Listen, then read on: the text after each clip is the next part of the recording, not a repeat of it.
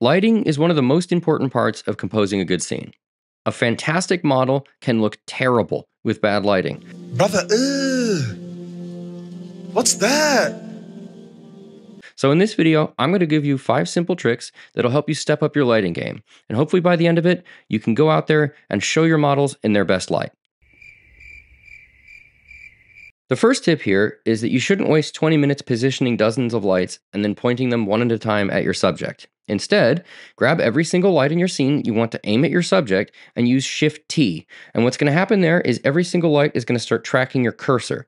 And then you can basically put your cursor on whatever it is that you're trying to aim the lights at and click, and it will confirm the position. And now all of your lights are aimed in one shot. No, get those lights off! Second tip I've got here is you need to set your light values to real life values and then set exposure. What do I mean by this? Well, especially in cycles, you should configure your lights using real world brightness. That doesn't mean to set every single light as if it's an indoor light bulb that's like 60 watts. It just means, you know, no more 400,000 watt lamps, unless you're maybe making modern car headlights. Oh my god! Instead, look at real life similar lights and set them up to match closely. So like look at the light values of actual studio lights if you're doing a studio scene or if you're doing interior scenes look at the actual light values of like the lamps and the light bulbs that you have in your scene. And then your scene is going to be really freaking dark. So what do you do? Do you go boost those all by an equivalent amount? No. What you actually want to do is stop the exposure up in your scene. Uh, so basically, there's two places that you can set exposure in cycles the film tab and color settings. I'm going to not completely cover why these two are different, but I would suggest using the color settings and then maybe I'll cover it in a later video. Um, basically, yeah, go in the color tabs, boost your exposure up until it looks basically how you want it, and then you can make finite adjustments to the light brightness as needed. But do away with those 6,000, 5,000, 10,000 watt lights because not only is it unrealistic, it's actually adding noise in your scene as well.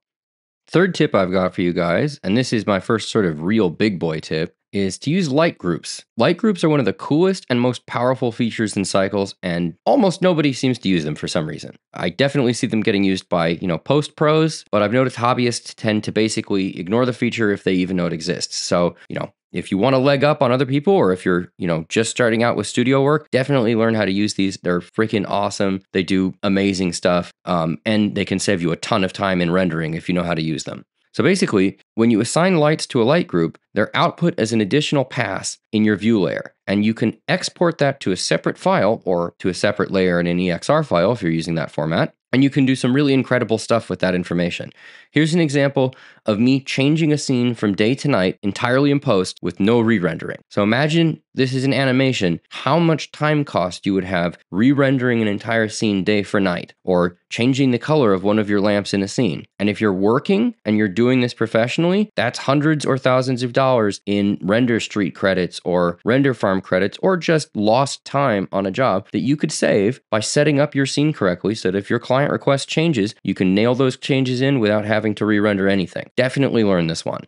In fact, I'm so passionate about light groups and I, I think they're so underused that I really would like to make an individual video about that. So maybe keep an eye out for that or let me know in the comments if you think that's worth doing. Number four, fake IES lights. Do you know what an IES light is? If you don't, an IES light, IES stands for Illuminated Engineering Society. Ooh, fancy, but it's actually just a file format basically that's used to describe the beam pattern of various different professional lights. And the reason that it's useful is if you're an ArchViz or some other similar field where you're making stuff that has like real actual lights in it, uh, you can take an IES file and attach it to one of your digital lights, and it'll basically, the beam pattern of your light will end up looking how the real life light would look. Now, that's great.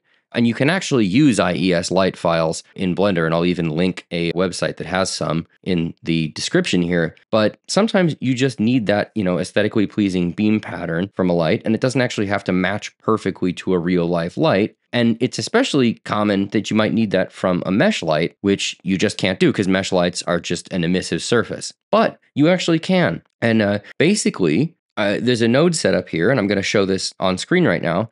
And it'll basically just take the back face off of your mesh so that you're not shining light out of both sides of your mesh light emitter. And it's going to take that and it's going to make a circular projection and it's going to map a color ramp to it And then the black values on the color ramp will effectively disable lights in that section, and the light values will effectively enable lights on that section. And you can even do stuff like adding multiple colors to the ramp to change tints between the different parts of the beam. And you can get really nice, aesthetically pleasing, and, and very cool looking beam patterns from this. The only caveat is that this only works in cycles since it's it's relying on the ray tracer and Eevee doesn't have a full ray tracer currently. Maybe this will change in 4.2. I actually haven't tested it yet, but as of now, it's cycles only. The last lighting tip I'm going to give you is to use light textures and animated light textures to get more interesting lighting and even fake caustics. Did you know that you can use textures on your lights in cycles?